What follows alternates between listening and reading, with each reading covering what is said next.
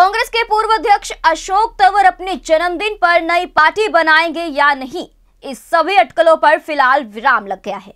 रविवार को करनाल में अपने 44वें जन्मदिन पर तंवर ने पार्टी बनाने का कोई ऐलान नहीं किया। उन्होंने कहा कि हरियाणा में तीसरे विकल्प के रूप में काम करेंगे। जनता तीसरे विकल्प को तलाश रही है। रविवार को करनाल के सेक्टर 12 हुडा ग्राउंड में पूर्व कांग्रेस अध्यक्ष अशोक तंवर ने अपना चौवालीसवा जन्मदिन समर्थकों के साथ मिलकर स्वाभिमान रैली दिवस के रूप में मनाया।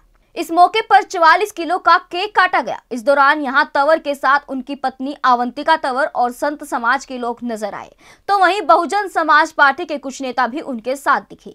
इस दौरान अशोक तंवर ने कहा कि देश की जनता तीसरे विकल्प को तलाश रही है। इसलिए बीजेपी और कांग्रेस को जनता नकार रही है। उन्होंने कहा कि दिल्ली में केजरीवाल को दूसरी बार जनता ने मौका दिया। अब हरियाणा में हम तीसरे विकल्प के रूप में काम करेंगे, क्योंकि हम सब साथियों ने मिलकर जनता की लड़ाई लड़ी है, उनके मुद्दे उठाए हैं। उन्होंने कहा कि यह सब साथी संघर्ष से निकले हुए हैं। इन्हीं के साथ मिलकर हम आगे काम करेंगे। हालाँकि तंवर नई पार्टी या फिर किसी राजनीतिक पार्टी के साथ जाने पर मना करते नज़र आए। उन्होंने कहा कि अभी ऐसा कुछ नहीं है, अभी सिर्फ़ मिलकर जनता की आवाज़ को उठाना है।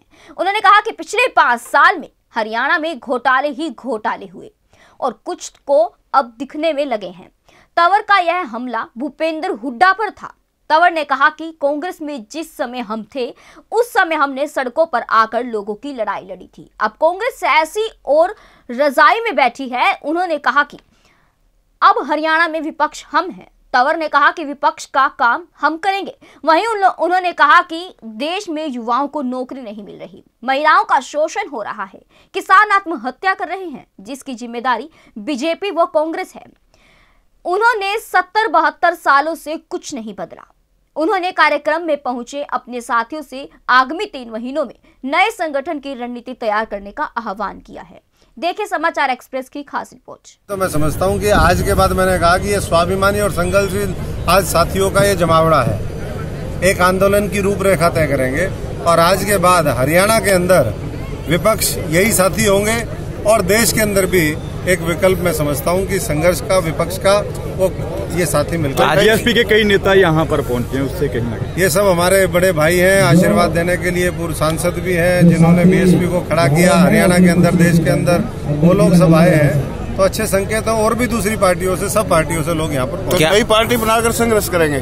देखिए ये तो आगे तय होगा कि क्या होगा। आज तो जन्मदिन मनाया है चौवालीसवां सब लोग आशीर्वाद देने के लिए आए हैं। और इनका यहाँ पर आना आशीर्वाद देना ये हमारे आगे की लड़ाई को मैं समझता हूँ कि और मजबूती से लड़ने के लिए प्रेरणा देगा।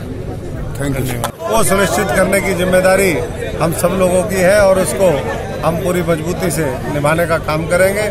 आज ये साथी मिलकर के तय करेंगे कि आगे हमें करना क्या है और उसके अनुरूप फिर हम आगे का रास्ता अगला विकल्प कहीं आम आदमी पार्टी तो नहीं है? कोई पार्टी कुछ नहीं है। पार्टी पुर्टियाँ हमने बहुत देख ली है। सारी एक से एक बढ़ करके है।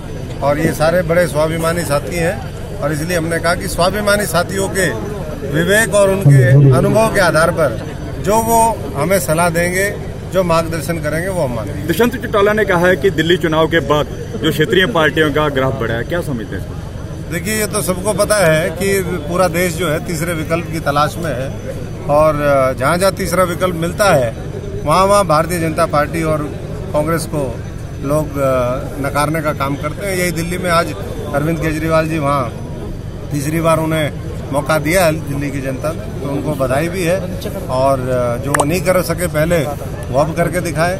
और हरियाणा में हम एक अच्छे विकल्प के साथ यहाँ के हर वर्ग की छत्तीस बिरादरी की आवाज़ को बुलंद करने का काम क्या भूपिंदर सिंह हुड्डा कह रहे हैं कि धान घोटाला हुआ है और मैनिंग घोटाला हुआ है क्या समझते हैं घोटाले तो पाँच साल से चल रहे थे। कुछ लोगों को अभी दिखाई दिए हैं। फ़र्क सिर्फ़ इतना ही है कि पाँच साल इन साथियों ने जो आज ये सारे स्वाभिमानी साथी आए हैं इन्होंने संघर्ष भी किया आवाज़ भी उठाई और आने वाले समय में आज के बाद हरियाणा का विपक्ष यही होगा। बाकी सब तो आपस में मिले हुए आपको क्या लगता है कि कांग्रेस सड़क पर आकर आम जनता की आवाज़ नहीं उठा पा रही है? कहाँ कांग्रेस तो कांग्रेस में हम थे सड़क पे। कांग्रेस कहाँ सड़क पे कांग्रेस एसी में है ड्राइंग रूम में है रिजाई के अंदर। आज इस कार्यक्रम के चक्कर में कुछ कार्यक्रम वो रखने की कोशिश करी है, हालाँकि उसमें कोई दम नहीं है। तो मैं तो इतना ही कह सकता हूँ कि आज देश के अंदर अगर संविधान लागू नहीं हुआ, अगर आरक्षण पूरे तरीके से लागू नहीं हुआ, अगर महिलाओं को, नौजवान को उसके अधिकार नहीं मिले, अगर किसान आज भी आत्महत्या करने पर मजबूर है, गरीब आदमी नरकीय जीवन जीने पर मजबूर है, शिक्षा के अभाव में लोग जो है, मैं समझता हूँ कि लाचार जीवन जी रहे हैं तो इसके लिए कांग्रेस, भारतीय जनता पार्टी और वो तमाम पार्टियाँ दोषी हैं जिन्होंने पिछले सत्तर बहत्तर सालों में इस देश और प्रदेश के ऊपर राज किया सर आने वाले दिनों में बीएसटी के बैनर JBD Banquets लाए हैं incredible marriage palace Rajgharana and the finest banquet hall Jyoti Garden. World class catering, centrally air conditioned, lush green lawns, state of the art lighting. A perfect venue for wedding, launching and parties. Rajgharana and Jyoti Garden at JBD Banquets Enterprise.